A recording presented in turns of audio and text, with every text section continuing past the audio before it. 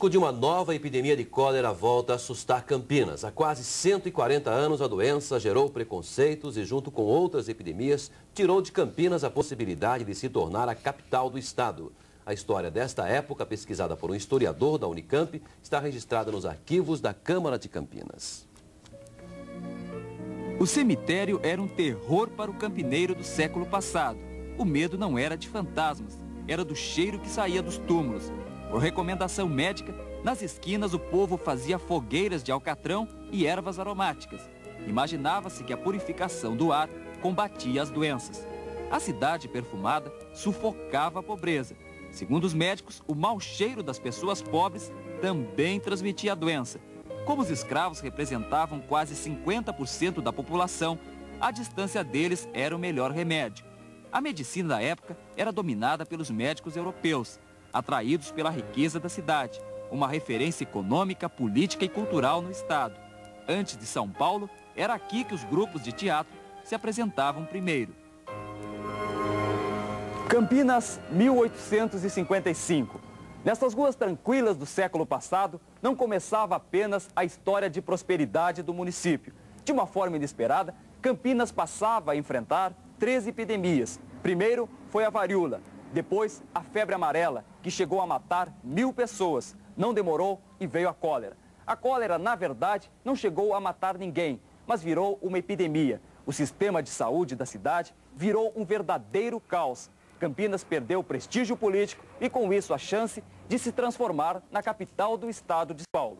A cólera entrou no Brasil pelo norte, chegou ao Rio, desembarcou em Santos e veio parar em Campinas.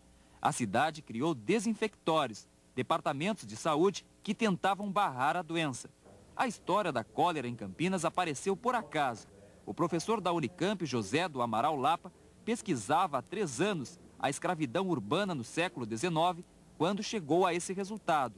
Toda a história estava guardada nos arquivos da Câmara Municipal. Campinas vive nestes diferentes momentos das, das epidemias ou das ameaças de epidemia tanto da varíola, quanto do cólera, quanto da febre amarela, Campinas vive o seu primeiro grande momento de modernidade. É quando a cidade se prepara para uma nova ordem social capitalista e burguesa que vai exigir dela toda uma reestruturação urbana.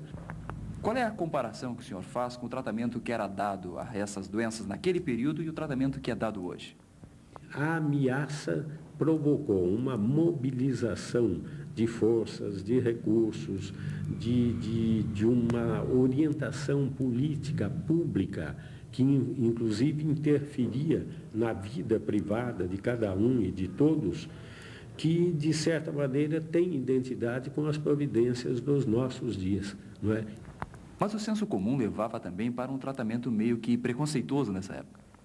Com certeza a população escrava, por ser negra, e a população pobre eram excelentes candidatos ao cólera, por essa condição de pobreza e de cor.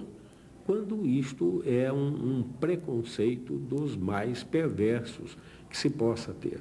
Quer dizer, se o escravo tinha cólera, ou se uma pessoa pobre, carente, adquiria moléstia, era pela jornada de trabalho excessiva, pelas condições de vida deploráveis que tinha, tornava-se vulnerável à moléstia, não porque se fosse pobre ou fosse negro.